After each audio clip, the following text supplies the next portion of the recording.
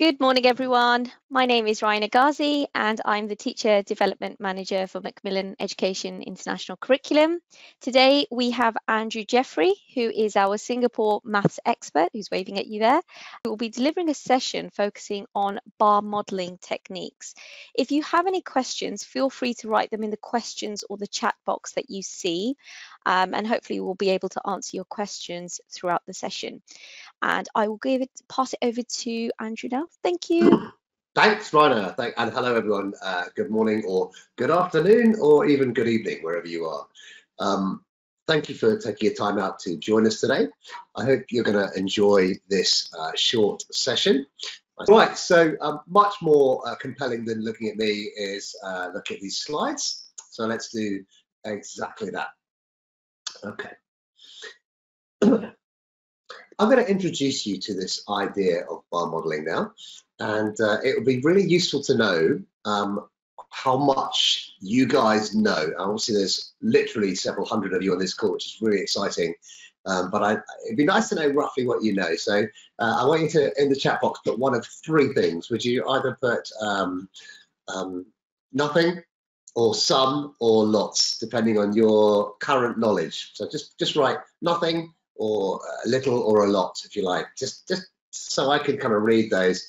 I can see your comments coming through. So I've got quite a few nothings, some sums. Uh, someone can't see anything. You've got the best of both worlds there, probably. Oh, there's someone with a lot. Good. You can take out zero. There we are. Okay. All right. So I'm going to assume a fairly lowish level of knowledge. But even those of you who've been bar modeling for a while, I hope you're going to find something useful that you can take back. Uh, if you want to screenshot and share, that'd be fine um, take notes, whatever you want to do. Right, let's get into an introduction. So the first thing is that bar models are simply pictures that students draw to help them solve word problems. Okay, that's the first thing they do.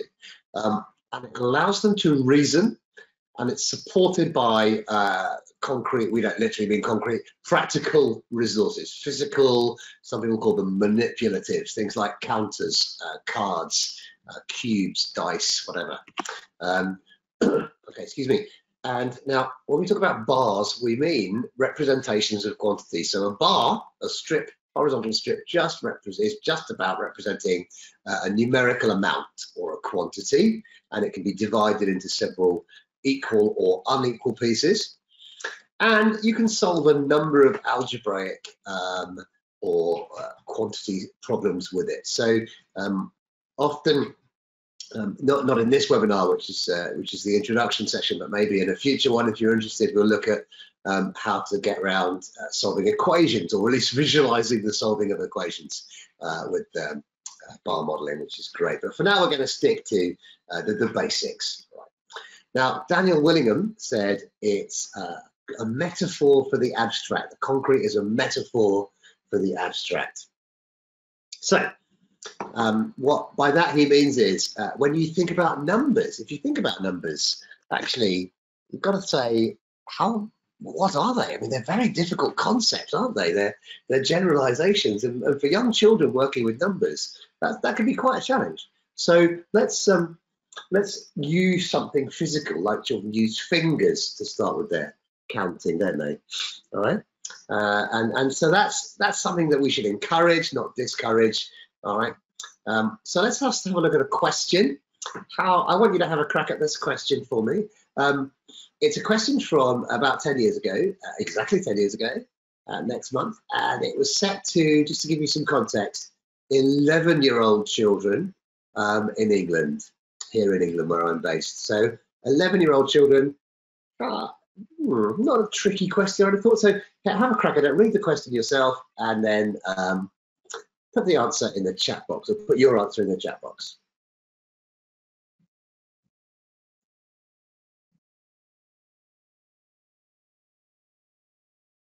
Let's just wait and see what comes up.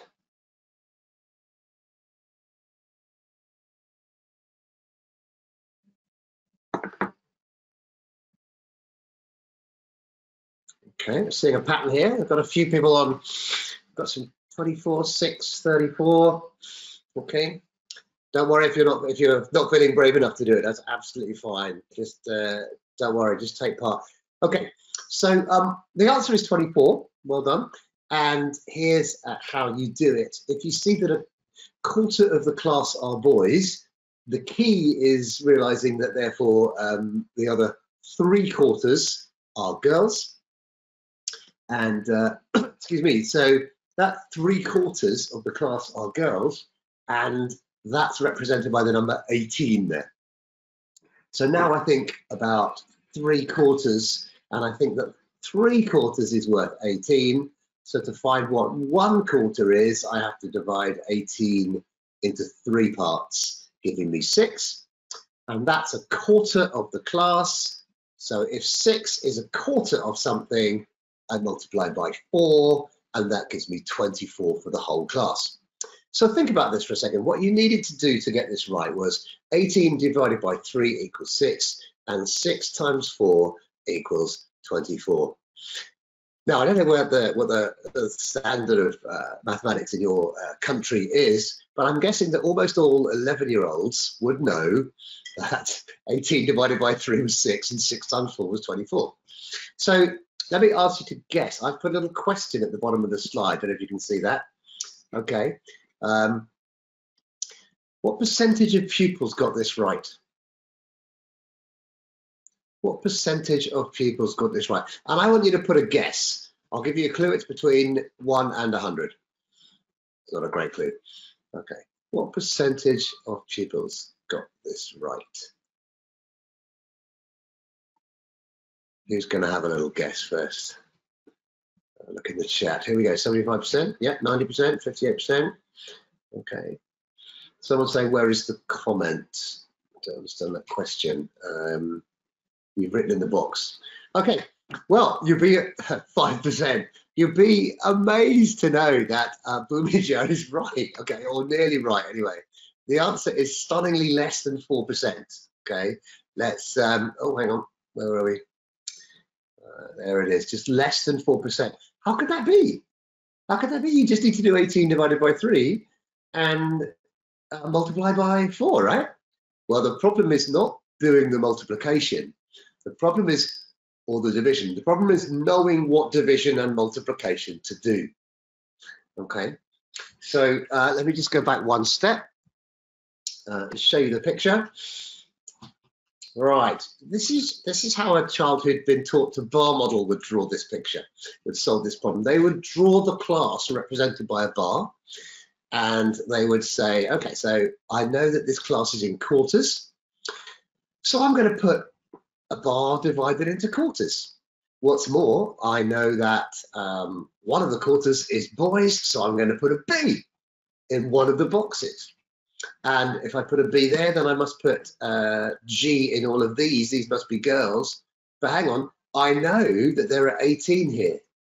So I've got to split that 18 into those three boxes. So that's six per box. So the answer is four sixes, which is 24. Okay. And I think that's really helpful. Okay, I think that's really helpful. Um, but, uh, oh, hang on, a minute. I'm just going to go back a step. Um, right. I, I, I, wonder if you've been taught um, to, to, to, do the question by just looking for key information. One of the problems with this is that one of the key numbers in this, three, is um, is not it, it's not in the question. Look, there's no there's no sense of three there. There's no sense of dividing. Uh, so it actually doesn't say uh, three in there. And so just looking for the key numbers in the question isn't going to help you do this. And that's why I think so many of our children got it wrong. I have to be honest, in the last 10 years, there's been much progress in this kind of reasoning teaching. And I suspect that number would be a lot higher than 4% this time. All right, let me skip on. Okay. Uh, to here. Now, when we are using um, math equipment, we, excuse me, when we're using mass equipment, um, we, we like to introduce bar modeling using cubes. And there are two types of cube. Now, in my, uh, in my country, uh, they're called Unifix or multi-link, but let me just uh, try and explain what the difference is. The ones that we call Unifix you can only make one straight line out of them. They only join at the top and the bottom, in other words. Whereas multi-link can be clipped together on all six faces. And I'm going to suggest, oh, I don't know about your classroom, but in every classroom I've ever been into that has cubes, there's a big tray and it, they're all mixed up. There's Unifix and Multilink mixed up. And you've probably got that. And you've probably got some of those little triangle pieces as well that no one's quite sure what to do with. That seems to be the way. But I, I recommend that you, you just keep the Unifix ones for bar modeling because you don't have to go into uh, different dimensions for this. You just need to stick to a straight line. All right, it's less distracting. The boys can't make guns and weapons and swords if they can only go in one straight line, so that's good. Okay, uh, so that's a really important point. Now the next uh, next one, I want to ask you a question. Has anyone heard of this method? It's an English language method, okay, uh, for for solving word problems. Okay, Right, let's play a game of Family Fortune. So which of these things do you think are good? Do you know what they stand for? Just in case you've not heard of this, um, it was a sort of six-step method that was recommended for, for tackling word problems.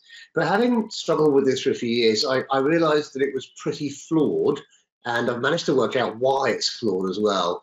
So let's see which of these represents good advice. Firstly, read the question it stands for underline the key information, choose a calculation, solve the problem, answer the question and check your solution.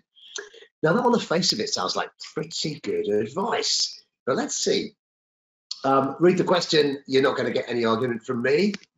There we go, that's definitely right. But then, then underline the key information. Well, straight, straight away you can see a problem with that advice from the question we just looked at because one of the key numbers in that question is three and it just doesn't appear. We can't solve that problem unless we divide 18 by three, but there is no three. Um, other other uh, flaws with underlying key information is that early on children are taught words uh, that, that mean things and words like um, more than or times, all right? But what if um, what if I have five sweets and that is two more than you?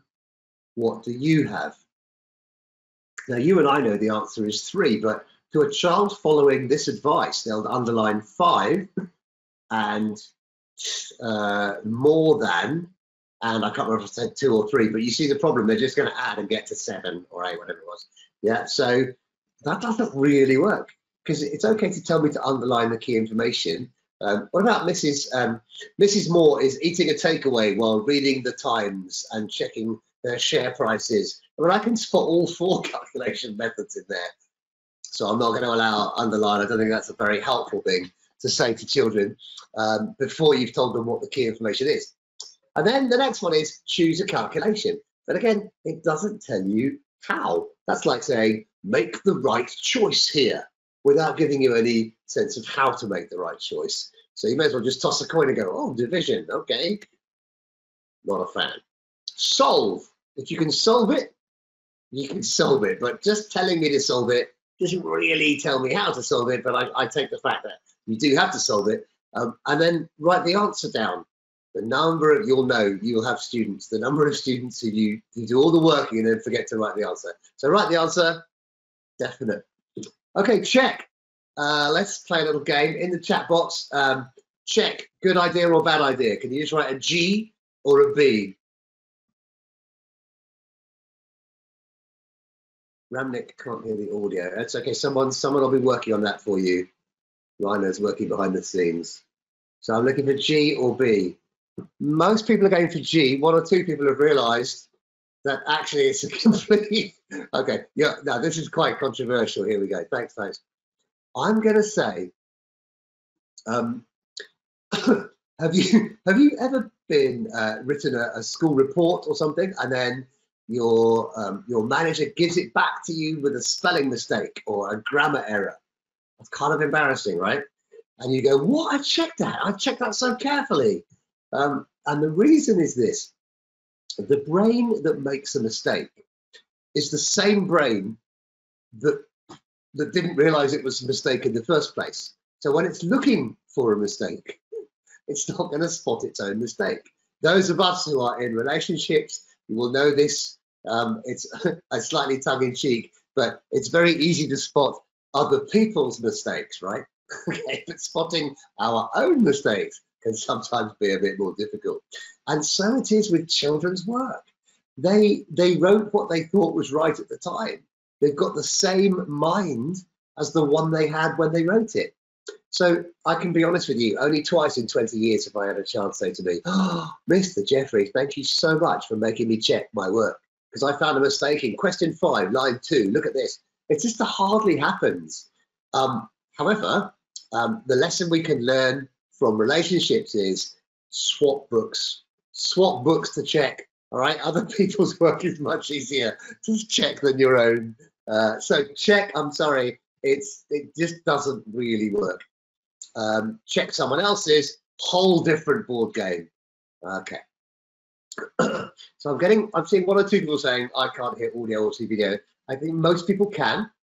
So I'm guessing that might be an issue to your end, but uh, I know that Rainer is working on that for you. So I'm just going to press on. Don't think I'm ignoring you. Okay, um, right. Here's an example then. Here's an example of a question, a very silly question. As often math questions are very silly, I've noticed that. Uh, so here's Boris and Angela share hats in the ratio five to two. If Angela has 18 fewer hats than Boris, how many hats does Boris have? Now, if you are a child looking at a question like that, your brain is just going to blow up, right? There's, there's, how do I even attack this question? And uh, ratios is one of those topics that absolutely brilliantly lends itself to a bar model. So I'm going to show you how a child who'd been trained to bar model would find this problem very straightforward. Here we go. Um, I'm going to use colored counters. Now, um, I love as one of my favorite teaching tools when I'm in classrooms. I love uh, using counters which are different colors on each side. So uh, I've got some yellow on one side and red on the other. And I'm simply going to make it, uh, draw a picture. Okay, there's my picture of, um, I see people are starting to put answers in already for their hat. That's interesting. Um, draw a picture of uh, what I think the question is saying. Now, can you see the first sentence? Boris and Angela share hats in the ratio of five to two. Can you see what I've done? Is I've just put five blobs there and two blobs there. Now, it's important to state here, a blob doesn't equal a hat. But what it allows me to do is visualize the relationship between the two quantities. Okay. Now, um, it turns out that this question is sneakily similar to the one I showed you at the beginning. Um, if Angela has 18 fewer hats than Boris, how many hats does Boris have? And a bar a child who's been trained to bar model will instantly look at the difference between the two lines, which I've illustrated with these dotted lines. And that difference is those three sections there. All right. And interestingly, uh, that means that she has 18 fewer hats. One of the things I like about these um, double-sided counters is you can turn those over and I can see, so these two reds match the bottom two reds, and I can see the difference is three, three parts. I can visually see that. Okay. And I think we often say in maths when we're explaining something in an abstract way on the board, there you go, do you see? Do you see? And the child goes, no, I don't see, because they don't, there's nothing to see. So what we have to do is paint pictures for these children until they can paint their own. So now I can see that those are worth um, 18. And oh, hang on, this looks suspiciously like the question before. Well, we've got 18 is uh, these three chunks here. So now I can do, well, what do you know? Each chunk is 18 divided by 3, and 18 divided by 3 is 6. So Boris, that's what we have to find out, has five lots of 6. And so my thinking goes like this. There you go. Boris has five lots of 6, which is uh, 30. And there it is. Okay, so well done. I think Kuldeep was first with 30. Uh, uh, bonus mark for people who put their work in. Okay. Uh, imagine all, all, that the picture has done, all that bar model has done, is really um, take that English and translate it into maths. And, and that's a really great way to think about bar modeling. What it is, is like a translation tool to pick out from the English the key mathematical ideas uh, and allow you to find the right calculations. That's the crucial thing. Okay. Um, Right, so uh, let's move on. Now, instead of the RUCSAC, what I teach children to do is what I call the 10 steps. And you could be forgiven for thinking, whoa, how can you say 10 steps is easier than six steps? Uh, and that's a fair question. But uh, actually, some of the steps are very similar, um, but others just make the process easier and more scaffolded for children. So, so let's have a look. Read the question again is the first one. You can't uh, you can't improve on that. Um, now this is a this is a gold dust tip. Find the single thing it's about, and you know any word problem, it boils down to one thing. However much um, fluff and extra information uh, and what I call net curtains are in the way of seeing clearly, you can always boil it down to one very simple thing. And that depends on the question. So, for example, uh, let me go back. Okay, this question is about hats. That's what it's about. It's not about Boris Johnson or Angela Merkel um, or ratios or counters. It's about hats. Okay, and if you can find that single thing, and it's often not as difficult as you think. Um, it'll be it'll be something like um, uh, sweets, or um, often it's a unit. Often it's a measurement of unit. For example, uh, dollars, or uh, dirhams, or yen, or pounds, um, or meters, uh, or seconds, or miles per hour. Um, it's often something like that. So here's here's a silly example. So it's my birthday uh, on the second of the month, and I have uh, 53 candles, and my uh, cousin is twice my age, and she has 106 candles, and we blow them all out and burn the house down, and the fire brigade come, and uh, it's all very terrible, and we save one candle from the wreckage. How many candles were burned? But blimey, there's a whole story, but the one thing it's about is candles. And if you train children every time they look at a word problem, if the first thing you say to them is read the question, and then you give them it, and then you say the second thing is give me a one word answer. What is this about? That will really transform their confidence in tackling word problems. Because trust me on this, you probably know this in your gut, right? Um, children could do the maths if they could find the maths. All right.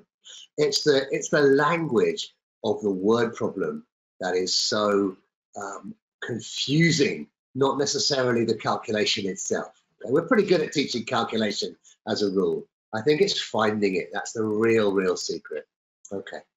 Now, um, write the answer leaving a gap.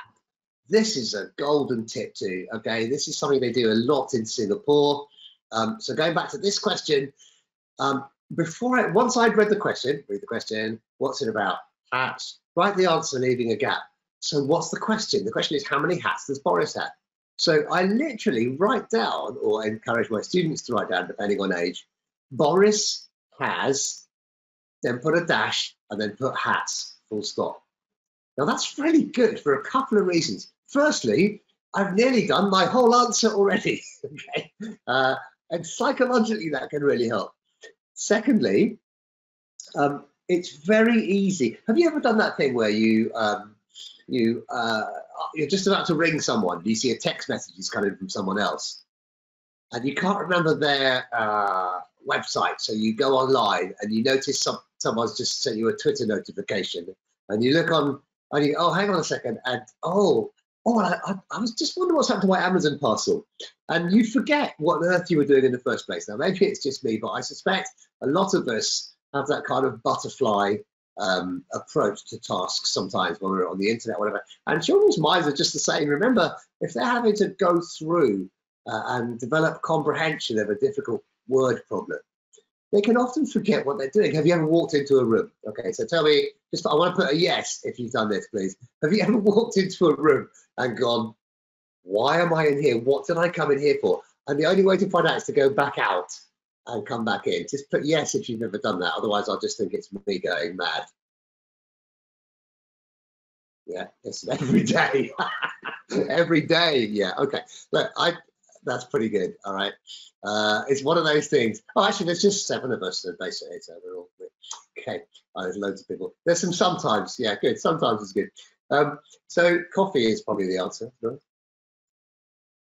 Just joking. So, um, right. So it is the same with children and word problems. Okay. So if you get lost, it's like um, I'm sure you know the story of Theseus and the Minotaur.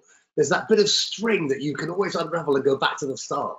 You can follow. So he can go back to the start of the maze because he's left that marker, and children can go back to what it is they're supposed to be doing because they look at their answer. Oh, Boris has dash has.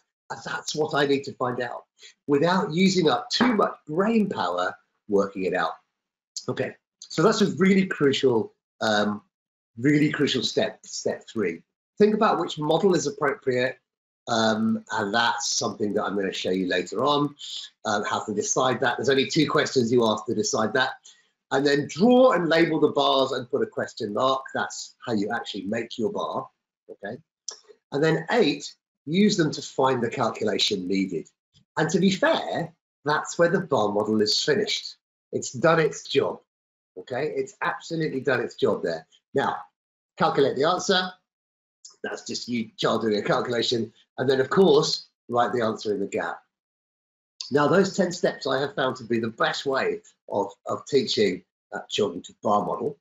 And I also was sitting in a cafe a couple of years ago, and I had this idea, which struck me as a bit weird, but I spoke to a printer and had hundreds of these made.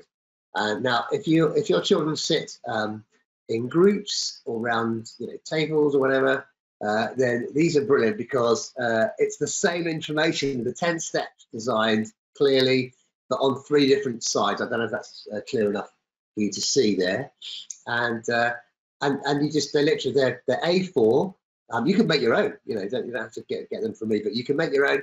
Uh, and anyone sitting around the table can see the 10 steps. And I find for the first few weeks or months that children are learning to use these tools, these techniques, they are absolutely brilliant. Okay, so this is uh, absolutely perfect for um, for primary school classes, um, to some extent uh, younger secondary school classes as well. Uh, and I don't. It's not a permanent thing. It's these steps will become second nature very very quickly. All right. So I'll tell you where you can get those at the end. Part whole relationship and the product factor relationship. If children are to succeed with bar modeling, you have to have um, some pre-knowledge instilled. I, I, find far too many times, I'm afraid I've seen people go, oh, this looks great, this is great, I'm going to teach my children this tomorrow. And actually you need to prepare the ground, okay? Uh, I'm just looking out my window here and we've had some uh, lawn, some, some fake grass laid down in our back garden and it looks great, but the guys did for the first, for the first week or 10 days, they didn't get anywhere near putting grass down. They had to prepare the ground. And a, and a child's mind is very much like that.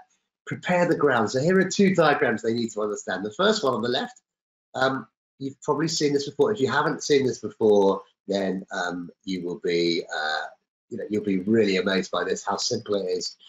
So we talk traditionally in math about four operations, right?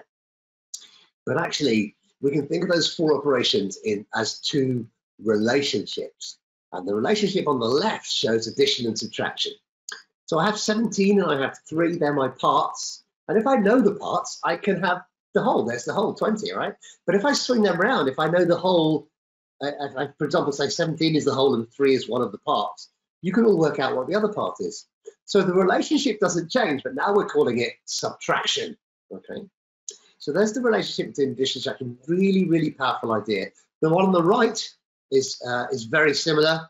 So the one on the right gives me six related facts. Six times seven is 42, seven times six is 42, 42 divided by six is seven, 42 divided by seven is six. And the two that I don't think get, get kind of mentioned enough are um, one sixth of 42 is seven, and one seventh of 42 is six. And I think it's worth having all six of those in place. Now, if you want to introduce younger children to these ideas, the, the way to introduce the first idea is this idea, the part whole game. I, I like, uh, from trial and, trial, and, uh, trial and improvement, I've worked out that A3 is probably the best size. So print out a few of these on A3 paper, laminate them if you want. Um, and it's really a simple thing. You just literally like uh, roll a dice. Um, Uh, notice, by the way, that now the whole is on the right. It really isn't important. Okay, the orientation of this diagram can be any way around. It's the, it's the relationship that's important. So let's say you rolled a dice and you got a two, and I rolled a dice and I got a three, and we put some counters uh, on our respective parts, and then we can slide them all into the box that says whole. Okay, so um, now I can deduce several things. So I wonder if I can put something in it just to give you an example of what we could say we tried this. Oh yeah, I, oh yeah, I can. So I'm going to write something in the chat box. Oh, that's not working at all. Okay, I can't. I, I, I tried. I tried a little experiment there. Um, but let's try. Oh my goodness, send to all. Three. No, it's not working. Three plus two. Is that going to come up in the chat box? Uh, I'm just going to see if I can do that. Okay, it's not. Send it all.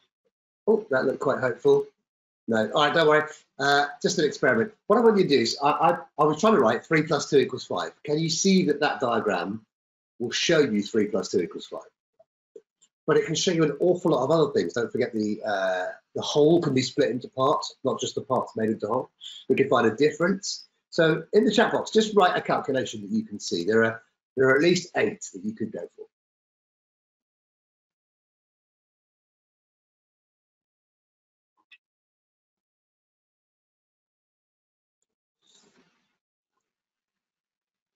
While you're typing those in, well done, Kriti, well done, Sam. While you're typing those in, let me just address this very interesting. Can this method be used in unitary-based problems? Absolutely right, it can. Yeah, we'll come to that. Okay, here we are. Um, look at all these there's at least eight possibilities you could have gone for there. Um, I want to, I don't know if you can see the top one, three plus two equals five and five equals three plus two. Now, I wonder if any of you, um, if any of you teach six-year-olds, uh, some of them, you'll, you'll know that they're very happy to say three plus two equals five, but they're not always quite as happy to say five equals two plus three because they misunderstand the value of the equal sign, right?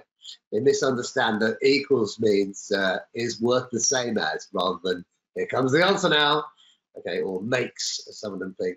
Okay, so uh, there's a whole whole range of possible things children can understand just from this one picture. Okay, Olga likes that, I can see. Okay, right.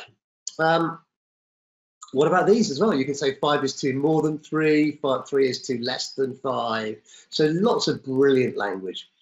Okay, now let's come on to the meaty bit. These are the four main picture types that you'll see. And if you look at the two on the left, it's where we're talking about parts of a whole. So in the top, the whole's been split into two different parts. In the bottom example, it's been split into three, red, yellow, and blue. And then on the right-hand side, um, we have got uh, this uh, comparison type where, where I'm comparing two different things and we traditionally have more than one bar. There are examples where uh, more than one model would serve a purpose and we'll look at that uh, as we go through. Now, you've got two different types. You've got discrete and continuous, okay? Discrete bars isn't a phrase I'm going to be Googling again in a hurry, but there you go, you live and learn. Whoops, move on. Uh, discrete means all these sections are the same size. So this is ideal for um, what was called unitary method by someone earlier, okay? And um, uh, it's ideal for that. Uh, ratio questions, um, it's ideal for very small numbers. So I've got three red lorries and two yellow lorries. How many lorries do I have? That kind of thing. Uh, but basically for proportional representations and for ratios, it's hard to beat this. Okay, here's the example of the hats five to two. Uh, and again, now here, this is where the, the sorry, the quantities, the blocks are all worth different amounts. Okay, so this might be my um, my bread costs uh, three dollars, my my water costs one dollar, and my eggs cost two dollars. How much did I pay altogether? That kind of idea. Okay, but this might be my bread costs twice as much as my eggs, you know, and so on. So uh, it's the same thing, uh, but you're comparing things rather than thinking of them as part of a whole. And the good news is once you get that, uh, that's really all there is to it. Um, now, there are as as ever, there are some pre-teaching tasks. So before we before we lay our new lawn, here's the four tasks I recommend um, for children up to the age of seven-ish. The first one is very simple. It's called How Many. The benefit of doing these four tasks, I have to be honest, the benefit of these doing these four tasks is so that uh, when you teach them the actual bar, they'll pick it up, boom, like that. Okay, they'll pick it up like that. It's really straightforward. So how many? So you roll a dice. I, you roll a four. You have a, a stick of 10 green cubes and you put four of them together. Okay, I roll a dice. I get two and I have a stick of orange ones, say, okay. And there we go. So you've got your four, I've got my two, and we put them together and we can say, look, you've got four, I've got two.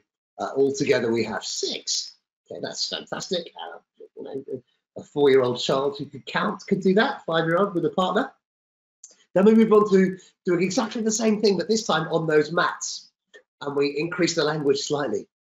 Okay, so now we're saying, uh, oh, I've got four, I've got two. My part is four, as you put your four on the uh, circle. The circles wouldn't have those numbers on, by the way, okay, on the map that I showed you earlier. And uh, then oh, my two on, and then we can say, so your part is four, my part is two, and then you slide both parts into the whole. And when you slide them together, don't put an extra six on because then you've got 12 in play, and that's not what we're saying. But move those four and those two into the whole box to say six and you've got uh, the whole is six, and you can use that language. Okay, then put them into threes for this task. Ben, there's Ben, and there's Raj, and there's Ali, and you just say, okay, uh, Ben rolls a three, Raj rolls a one, Ali rolls a four. They all make their sticks, put them together, and this is setting them up for the comparison, right? Uh, the comparison models, and you, Ben says, well, I've got more than Raj, uh, uh, I, but less than Ali, and Ali said, I've got more than Ben and more than Raj, and Raj can say, I've got less than both of you and so on. So that's about the comparison.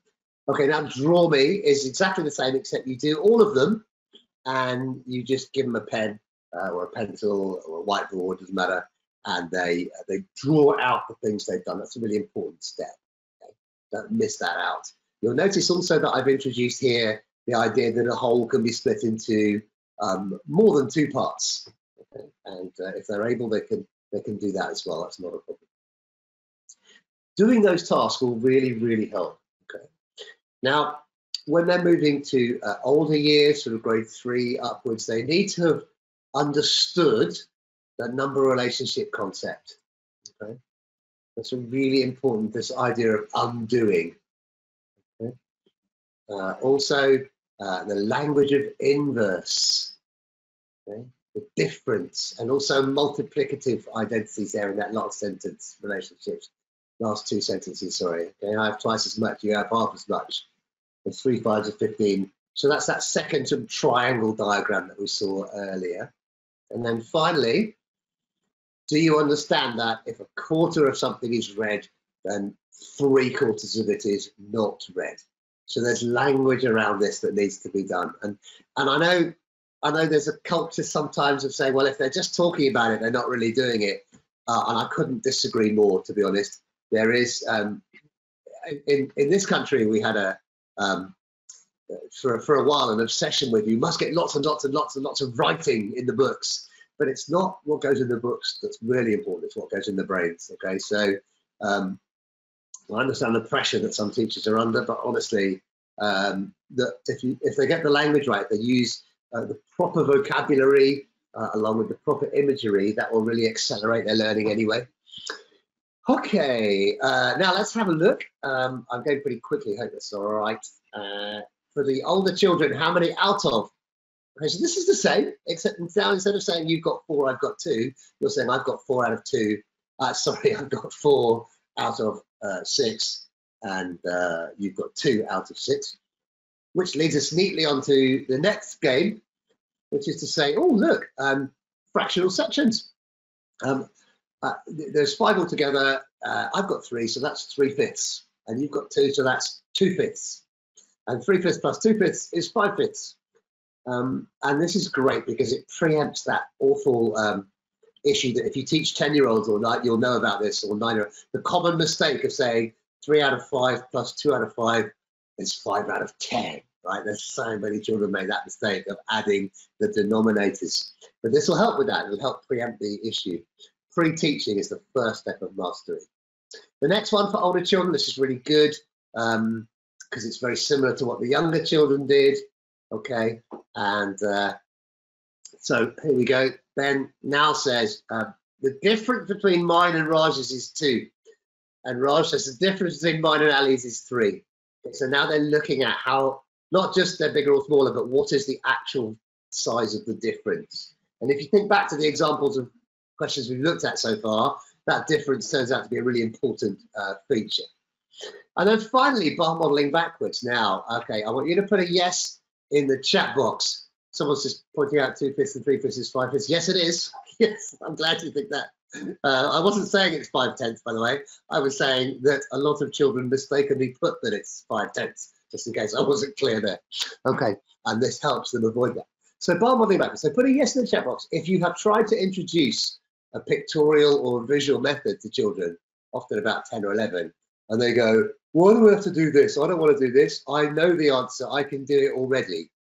Um, has anyone hit that challenge? Because I get asked that to solve that problem quite a lot. So give me a yes if that's uh, in your experience.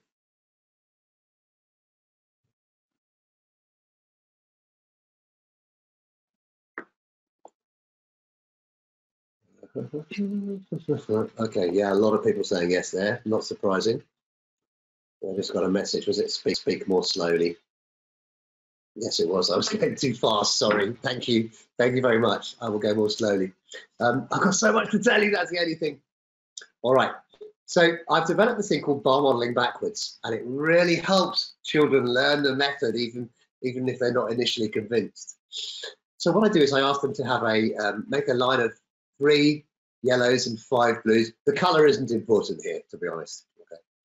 And uh, and I say, right, imagine I've got some grains of rice. I'm going to put um, 10 grains of rice in every box. Well, by the way, cubes don't look like boxes, but I discovered an amazing optical visual illusion, I don't know what to call it, that tricks my brain into making these cubes into empty boxes. And watch, this is like magic. All you do is put empty lines in like this, just vertical lines. Now, don't those yellow ones look like empty boxes? It's so cool. You probably knew that years ago, but art was never my strength at school. So I, I only learned this recently and I'm super pathetically excited. Same on the blue ones. Let's just make those uh, from cubes into boxes. Yeah, Christopher hadn't seen that either. There we go. okay. Right. Now, um, this is very cool. Okay, so I want to say I've got some grains of rice in each box, in the same number in each of those eight boxes. And here's what I don't deliberately trick my students. Okay, this that's not what this is about at all. I'm not trying to trick them, but I am trying to make them pay attention to what I want. So I'll say, supposing there's 10 grains of rice in each of those eight boxes. Okay, 10 grains of rice in each box. Um, how do I find the total in the yellow line? And they'll almost always say 30. And if they do, I'm really happy because it allows me to make the point I want to make. And I go, no, wrong. And they look horrified. what? And they look all confused. And it's, it's hard because as a teacher, you don't want to confuse your children, but trust me, this one's worth it. I go, no, listen again. So there's 10 in every, every individual box, 10 grains of rice. How do I find how many there are in the yellow line? And I keep going until one of them realizes the answer is you have to multiply 10 by 3. Okay, because the question wasn't how many are there in the yellow line, it's how can I find out how many there are in the yellow line? And this is why there's a huge problem in um, math class math lessons with the same old children answering the questions, getting it right, and the children who were confused about why that was the answer are still confused. So they're none the better. They, they haven't learned anything from that conversation. I hope that makes sense. So, for example, if I if I said so, there's ten in each. How do I find out how many there are in the yellow? And and you're still thinking about it, and someone goes thirty, and you go correct. Teacher goes correct, and you go well, why? Okay. Can you explain? And then maybe, but what if the explanation came before the thirty ever came? And this has really transformed the way children engage with me in a class because children um, put up their hand more or whatever method you use, they'll, they'll engage more if they know that there isn't just this like quick calculator kid going to shout out answers all the time. So I need to warn you, they will get quite cross at this. So then I might say another question like, okay, supposing there's, um, again, I'm going to put the same number of grains of rice in, in all of the boxes. Okay, there's 100 grains of rice in the blue line. How do I find out how many there are in each blue box? Okay, why don't you guys have a go at answering that in the chat box, please? I'll say it again. There's 100 grains of rice in the blue line. How do I work out the number in each blue box? So I'm going to look at the comments and see if I've caught anybody out. I've caught a few people out. I've caught a few people out, but uh, full marks to the person who put, or the people who put uh, 100 divided by 5. Yeah, so if you put 20 and you were in my class, I'd have gone, nope. okay. It's not because I didn't say how many are in each box. Do you see? I told you it's annoying. I said, how would I find it out? Because I want all the children to benefit from this conversation. And they're all going to benefit much more if they hear someone say, ah, oh, you have to divide 100 by 5 than if you just say 20. So once you've got that idea in your head, um, it's much easier to teach and learn bar modeling. The next thing I do is look at the difference, okay? And supposing I now said, um, okay, there are 100 more grains of rice in the blue line than the yellow line. So how many grains of rice in the yellow line? How would I find that out? Okay. And here, what I'm looking for is children who go 100 divided by 2 multiplied by 3. Okay, and I'm going to praise that child more than the child who says 150, sir. Okay, because it's if that child says 150, no one's really gaining from that experience. But if I force them to say 100 divided by 2, which gives me what one box is multiplied by 3, then that's really helping with the understanding. Okay. That's the crucial thing. Now, if you if you have a child who still refuses because they think you will only value them if you if they give you the right solution, then there's one more trick you can do. Okay, which is to make up such a difficult number they won't be able to do it. So if I say there are um, 73 trillion grains of rice in every box, how many are there in the blue line? then then their their only real way to answer is to say 73 trillion times five. Uh, so that's a quite a nice little way to keep it keep it amusing for them. Okay, so that's bar modeling backwards. Now let's look at some examples. I think we're really going to zip through how this actually looks now. Most people I've noticed will jump straight into bar models, but I I like to give everyone the ideas first and and then we can zip through those questions really straightforwardly. Um, one of my issues when I was when I turned 40, I decided to start take up running, see how that was as a sport. And uh, I, I, bought some running shoes, and I I couldn't believe how much easier they made the running. But I also realized that I still had to do the running. It was still me doing it. They just made it a lot more comfortable for me and helped me do it.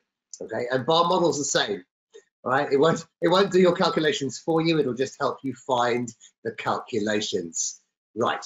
Now, here's how you choose which of those four types of diagram you're probably needing. Just have a look at this. It's it's quite straightforward if you look at it for a moment. So I'm going to try and decide what to do. Um, okay, the, the two questions I ask are, does it involve fractions or several equal amounts, like ratios? Okay, and the second question is, is it about comparing different things? Okay, That's, those are the two questions you need to ask yourself. So if it involves fractions or several equal amounts, we're going to go up to the top half and it'll be these top two images, the discrete ones. Okay.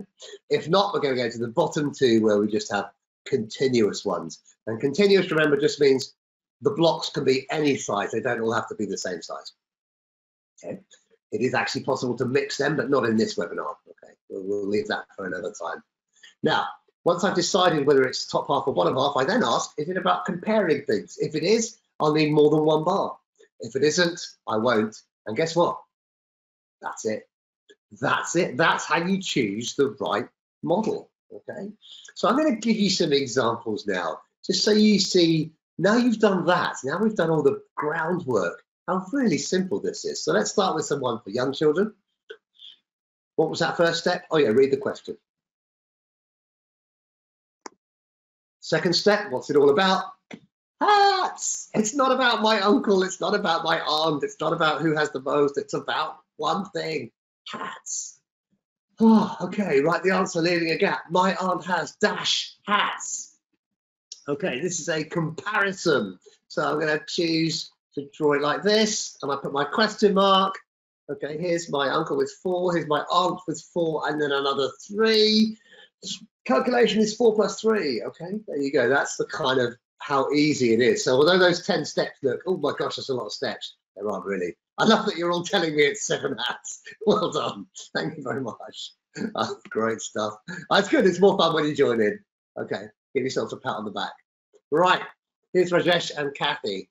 Uh, if anyone on the call is from Brunei, then um, you should know that one of my two favorite schools in the world is in Brunei, and these guys um, used to run this school. So uh, I won't name it just in case, but uh, yeah, uh, this is a trick question about them. Now, I've read the question.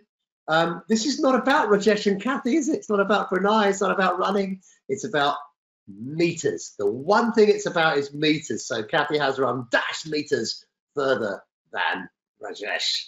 Okay, so this is definitely a comparison, and it's going to probably look like this. And I've done it kind of deliberately, like not very neat, because um, you're still putting the answers, you lovely people. Okay, uh, special special mention to Shaden Al Masri, who's put 34 minus 20, and so is Ranveer. Okay, so you get a full marks because you're showing the method. okay, once a teacher, always a teacher, I guess. All right, and now I can see that the calculation is 34 minus 20. Yeah, I'm, at this stage, I'm not really bothered that it's 14. I'm bothered that it's 34 minus 20 because that's the job of the bar. It's to show you that it's 34 minus 20. Okay, Tika, he went in the same school, probably still does, lovely guy. He picks five flowers from his garden. How many flowers he picked after a week? Well, if I've got this idea of drawing lots of blocks of five, it's probably going to look like this. Notice my question mark. Okay, so it's five plus five plus five plus five plus five plus five plus five, or five multiplied by seven. Yeah, okay. Um, now this is interesting. I gave this to my uh, son when he was seven to see what he would do with it, and um, and this is what he did with it. So I thought it was really nice. There's his four t-shirts. He's put them out in blocks, equal blocks. He's put four in each, and he's even done a, like a fraction for division. So that's nice. Okay. Um, right now, this is interesting. Twelve children at a party. A quarter go home. How many still at the party? So this is kind of like Hmm, quarters. So that's going to be discrete. I can draw something with four quarters, literally chop one off, and what's left is the question mark. So I've got 12 divided by 4 times 3 here. Okay, we've just got time for a few more from slightly older kids. Uh, here's kind of what I'd expect 7 to 11s to be able to do, 8 to 11s maybe. So here are three guys off for a cycle ride. Now you see all the numbers are bigger and different, so we're not going to use discrete blocks. We're going to use continuous blocks in these bars.